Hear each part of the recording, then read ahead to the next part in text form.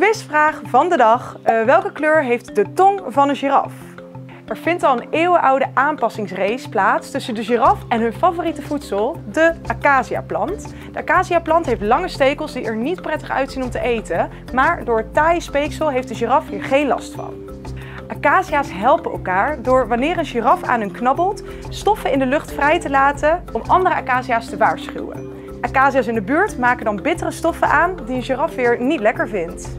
De waarschuwingsstoffen van de acacia's waaien met de wind mee. En om dit dan weer te omzeilen gaan de giraffen van boom naar boom tegen de windrichting in, zodat die acacia's elkaar niet kunnen waarschuwen. Elke zet van de een heeft dus een aanpassing van de ander tot gevolg. En welke kleur heeft de tong van de giraf nou?